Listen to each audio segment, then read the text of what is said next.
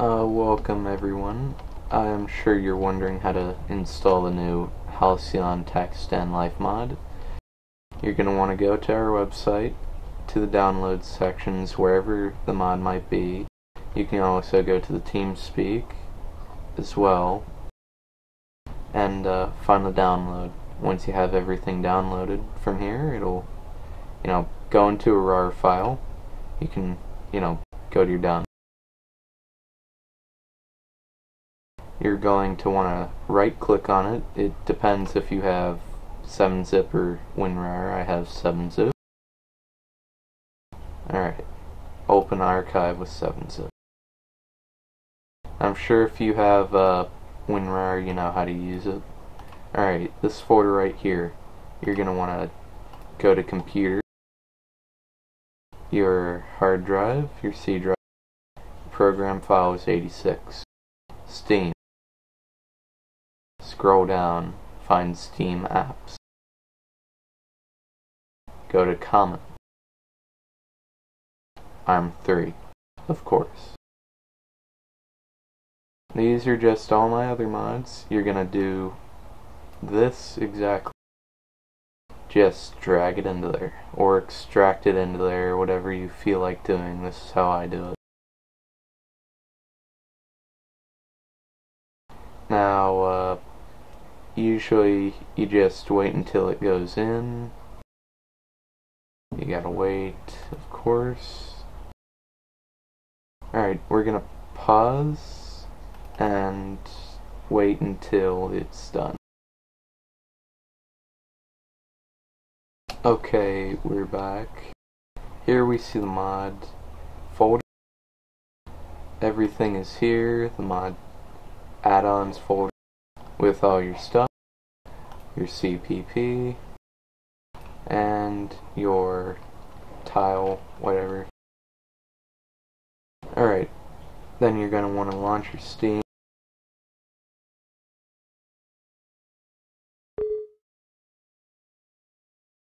Of course, you're going to want to launch your Steam.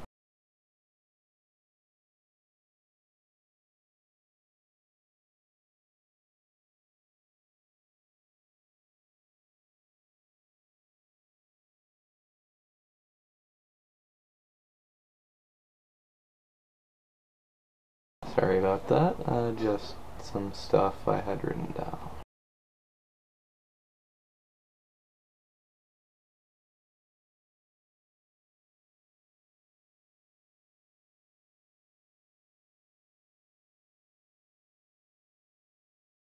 Alright. Now to get your mod up and running, press play.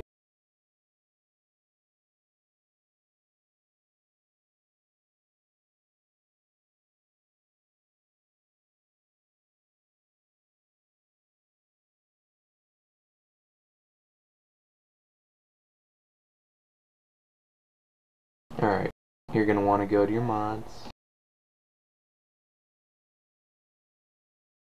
You might not have as many as I do.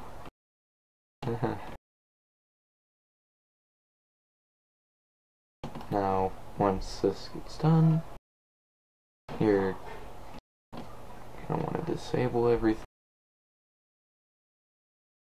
Go to that file folder right there.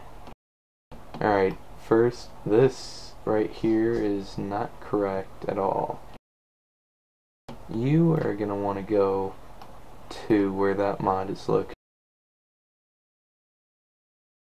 To your times 86 files and program. Then ARMA 3. Oh wait, no, Steam 3.